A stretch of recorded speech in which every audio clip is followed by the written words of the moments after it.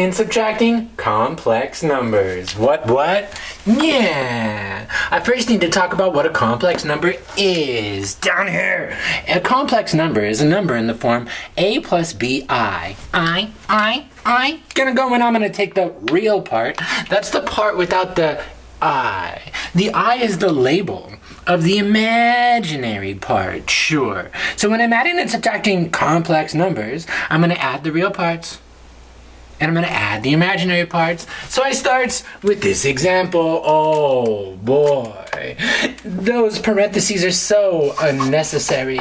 That's 3 plus 5i plus a minus 5 minus 2i. Then I go and I, I, I add the real, real parts. The 3 and the minus 5, 5, 5, and then get a minus 2. Ooh, ooh.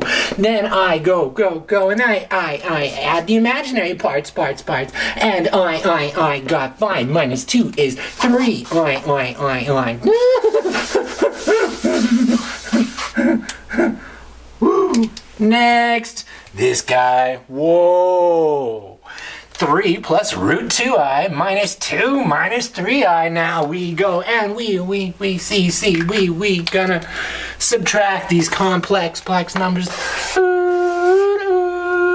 that's 3 plus root 2i minus 2 plus 3i. I, I, I. Go and I add the real parts. 3 and the 2 get me 1. And then, oh, the imaginary parts. That's plus 3 plus root 2. I can't add that one. This is rational, and that one's irrational, but they still had the designation for the I. And then you've just gone and you've added and subtracted complex numbers. We're sorry, the number you have dialed is not in service at this time.